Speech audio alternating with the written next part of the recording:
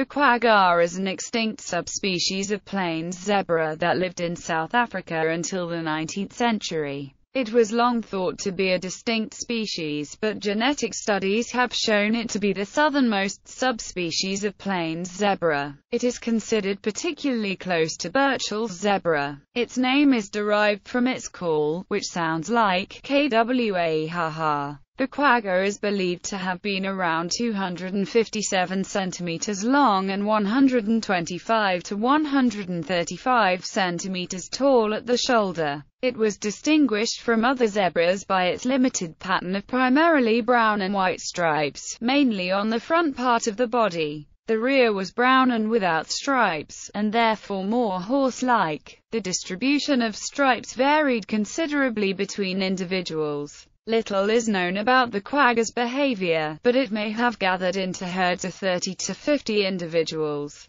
Quaggas were said to be wild and lively, yet were also considered more docile than Burchell's zebra. They were once found in great numbers in the Karoo of Cape Province and the southern part of the Orange Free State in South Africa. After the Dutch settlement of South Africa began, the quagga was heavily hunted as it competed with domesticated animals for forage. While some individuals were taken to zoos in Europe, breeding programs were unsuccessful. The last wild population lived in the Orange Free State, and the quagga was extinct in the wild by 1878. The last captive specimen died in Amsterdam on 12 August 1883. Only one quagga was ever photographed alive and only 23 skins are preserved today. In 1984, the quagga was the first extinct animal to have its DNA analyzed and the Quagga project is trying to recreate the phenotype of hair coat pattern and related characteristics by selectively breeding Burchell's zebras. Taxonomy the name quagga is derived from the Khoikhoi word for zebra and is onomatopoeic, being said to resemble the quagga's call, variously transcribed as kwa ha kwaha, or oujiga. The name is still used colloquially for the plains zebra. The quagga was originally classified as a distinct species, Equus quagga, in 1778 by Dutch naturalist Pieter Boddaert. Traditionally, the quagga and the other plains and mountain zebras were placed in the subgenus Hippotigris. There has been much debate over the status of the quagga in relation to the plains zebra. It is poorly represented in the fossil record, and the identification of these fossils is uncertain, as they were collected at a time when the name quagga referred to all zebras. Fossil skulls of Equus mauritanicus from Algeria have been claimed to show affinities with the quagga and the plains zebra, but they may be too badly damaged to allow definite conclusions to be drawn from them. Quaggas have also been identified in cave art attributed to the San. Reginald Innes Pocock was perhaps the first to suggest that the quagga was a subspecies of plains zebra in 1902. As the quagga was scientifically described and named before the plains zebra, the trinomial name for the quagga becomes E. Quagga quagga under this scheme, and the other subspecies of plains zebra placed under E. Quagga as well. Historically, Quagga taxonomy was further complicated by the fact that the extinct southernmost population of Burchell's zebra was thought to be a distinct subspecies. The extant northern population, the Damara zebra, was later named Equus quagga antiquorum, which means that it is today also referred to as E. Q. Burchelli, after it was realized they were the same taxon. The extinct population was long thought very close to the quagga, since it also showed limited striping on its hind parts. As an example of this, Shortridge placed the two in the now disused subgenus Quagga in 1934. Most experts now suggest that the two subspecies represent two ends of a cline. Different subspecies of plains zebra were recognized as members of Equus quagga by early researchers, though there was much confusion over which species were valid. Quagga subspecies were described on the basis of differences in striping patterns, but these differences were since attributed to individual variation within the same populations. Some subspecies and even species, such as E. Q. danieli and Hippotigris isabellinus, were only based on illustrations of aberrant quagga specimens. Some authors have described the quagga as a kind of wild horse rather than a zebra, and one craniometric study from 1980 seemed to confirm its affiliation with the horse. It has been pointed out that early morphological studies were erroneous. Using skeletons from stuffed specimens can be problematical, as early taxidermists sometimes used donkey and horse skulls inside their mounts when the originals were unavailable. Evolution The quagga was the first extinct animal to have its DNA analyzed, and this 1984 study launched the field of ancient DNA analysis. It confirmed that the quagga was more closely related to zebras than to horses, with the quagga and mountain zebra sharing an ancestor 3 to 4 million years ago. An immunological study published the following year found the quagga to be closest to the plains zebra. A 1987 study suggested that the mtDNA of the quagga diverged at a range of roughly 2% per million years, similar to other mammal species and again confirmed the close relation to the plains zebra. Later morphological studies came to conflicting conclusions. A 1999 analysis of cranial measurements found that the quagga was as different from the plains zebra as the latter is from the mountain zebra. A 2004 study of skins and skulls instead suggested that the quagga was not a distinct species, but a subspecies of the plains zebra. In spite of these findings, many authors subsequently kept the plains zebra and the quagga as separate species. A genetic study published in 2005 confirmed the subspecific status of the quagga. It showed that the quagga had little genetic diversity, and that it diverged from the other plains zebra subspecies only between 120,000 and 290,000 years ago, during the Pleistocene, and possibly the penultimate glacial maximum. Its distinct coat pattern perhaps evolved rapidly because of geographical isolation and or adaptation to a drier environment. Other large African ungulates diverged into separate species and subspecies during this period as well, probably because of the same climate shift. The simplified cladogram below is based on the 2005 analysis. Description the quagga is believed to have been 257 centimeters long and 125 to 135 centimeters tall at the shoulder. Its coat pattern was unique among equids. Zebra-like in the front but more like a horse in the rear. It had brown and white stripes on the head and neck, brown upper parts and a white belly, tail and legs. The stripes were boldest on the head and neck and became gradually fainter further down the body, blending with the reddish-brown of the back and flanks, until disappearing along the back. It appears to have had a high degree of polymorphism, with some individuals having almost no stripes and others having patterns similar to the extinct southern population of Burchell's zebra, where the stripes covered most of the body except for the hind parts, legs and belly. It also had a broad dark dorsal stripe on its back. It had a standing mane with brown and white stripes. The only quagga to have been photographed alive was a mare at the Zoological Society of London's Zoo. Five photographs of this specimen are known, taken between 1863 and 1870. On the basis of photographs and written descriptions, many observers suggest that the stripes on the quagga were light on a dark background. Unlike other zebras,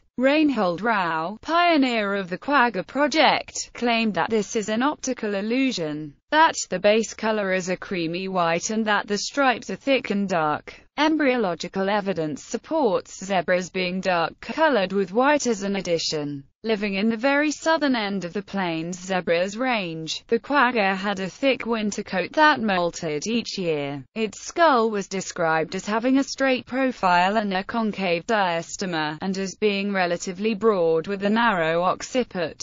Like other plains zebras, the quagga did not have a dewlap on its neck as the mountain zebra does. The 2004 morphological study found that the skeletal features of the southern Burchell's zebra population and the quagga overlapped. and that they were impossible to distinguish. Some specimens also appear to be intermediate between the two in striping, and individuals of the extant Burchell's zebra population still exhibit limited striping. It can therefore be concluded that the two subspecies graded morphologically into each other. Today, some stuffed specimens of quaggas and southern Burchell's zebra are so similar that they are impossible to definitely identify as either, since no location data was recorded. The female specimens used in the study were larger than the males on average. Behavior and ecology the quagga was the southernmost distributed plains zebra, mainly living south of the Orange River. It was a grazer, and its habitat range was restricted to the grasslands and arid interior scrubland of the Karoo region of South Africa today forming parts of the provinces of Northern Cape, Eastern Cape, Western Cape and the Free State. These areas were known for distinctive flora and fauna and high amounts of endemism. Little is known about the behavior of quaggas in the wild, and it is sometimes unclear what exact species of zebra is referred to in old reports. The only source that unequivocally describes the quagga in the Free State is that of the English military engineer and hunter Major Sir William Cornwallis Harris. His 1840 account reads as follows. The geographical range of the quagga does not appear to extend to the northward of the River Vaal. The animal was formerly extremely common within the colony, but, vanishing before the strides of civilization, is now to be found in very limited numbers and on the borders only. Beyond, on those sultry plains which are completely taken possession of by wild beasts, and may with strict propriety be termed the domains of savage nature. It occurs in interminable herds, and, although never intermixing with its more elegant congeners, it is almost invariably to be found ranging with the white-tailed gnu and with the ostrich for the society of which bird especially it evinces the most singular predilection, moving slowly across the profile of the ocean-like horizon, uttering a shrill, barking neigh, of which its name forms a correct imitation. Long files of quaggas continually remind the early traveler of a rival caravan on its march. Bands of many hundreds are thus frequently seen doing their migration from the dreary and desolate plains of some portion of the interior, which has formed their secluded abode, seeking for those more luxuriant pastures where, during the summer months, various herbs thrust forth their leaves and flowers to form a green carpet, spangled with hues the most brilliant and diversified. Quaggas have been reported gathering into herds of 30 to 50 individuals and sometimes traveled in a linear fashion. They may have been sympatric with Burchell's zebra between the Vaal and Orange rivers. This is disputed, and there is no evidence that they interbred. It could also have shared a small portion of its range with Hartmann's mountain zebra. Quaggas were said to be lively and highly strung, especially the stallions. During the 1830s, quaggas were used as harness animals for carriages in London, the males probably being gelded to mitigate their volatile nature. Local farmers used them as guards for their livestock, as they were likely to attack intruders. On the other hand, captive quaggas in European zoos were said to be tamer and more docile than Burchell's zebra. One specimen was reported to have lived in captivity for 21 years and 4 months, dying in 1872. Since the practical function of striping has not been determined for zebras in general, it is unclear why the quagga lacked stripes on its hind parts a cryptic function for protection from predators and biting flies, as well as various social functions, have been proposed for zebras in general. Differences in hindquarter stripes may have aided species recognition during stampedes of mixed herds, so that members of one subspecies or species would follow its own kind. It has also been hypothesized that the zebras developed striping patterns as thermoregulation to cool themselves down, and that the quagga lost them due to living in a cooler climate. Although one problem with this is that the mountain zebra lives in similar environments and has a bold striping pattern. A 2014 study strongly supported the biting fly hypothesis. And the quagga appears to have lived in areas with lesser amounts of fly activity compared to other zebras. Decline and extinction. As it was easy to find and kill, the quagga was hunted by early Dutch settlers and later by Afrikaners to provide meat or for their skins. The skins were traded or used locally. The quagga was probably vulnerable to extinction due to its limited distribution, and it may have competed with domestic livestock for forage. The quagga had disappeared from much of its range by the 1850s. The last population in the wild, in the Orange Free State, was extirpated in the late 1870s. The last known wild individual died in 1878. Individual quaggas were also captured and shipped to Europe, where they were displayed in zoos. Lord Morton tried to save the animal from extinction by starting a captive breeding program. He was only able to obtain a single male which, in desperation, he bred with a female horse. This produced a female hybrid with zebra stripes on its back and legs. Lord Morton's mare was sold and was subsequently bred with a black stallion, resulting in offspring that again had zebra stripes. An account of this was published in 1820 by the Royal Society. This led to new ideas on telegony, referred to as pangenesis by Charles Darwin. The last captive specimen, a female in Amsterdam's Natura Artis Magistra Zoo, lived there from 9 May 1867 until it died on 12 August 1883, but its origin and cause of death were not recorded.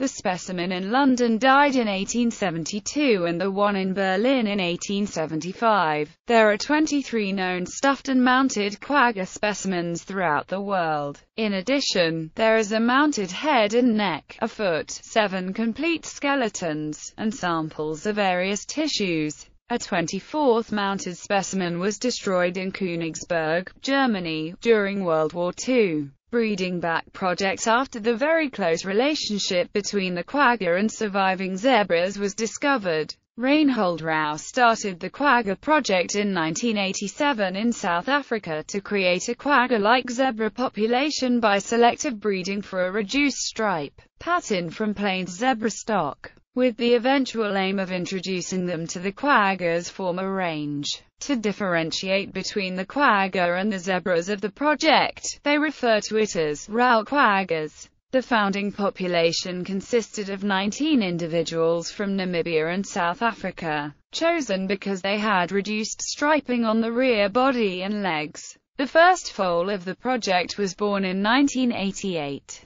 Once a sufficiently quagga-like population has been created, it will be released in the Western Cape. Introduction of these quagga-like zebras could be part of a comprehensive restoration program including such ongoing efforts as eradication of non-native trees quaggas, wildebeest, and ostriches, which occurred together during historical times in a mutually beneficial association, could be kept together in areas where the indigenous vegetation has to be maintained by grazing. In early 2006, the third and fourth generation animals produced by the project were considered looking much like the depictions and preserved specimens of the quagga. This type of selective breeding is called breeding back. The practice is controversial, since the resulting zebras will resemble the quaggas only in external appearance, but will be genetically different. The technology to use recovered DNA for cloning does not exist.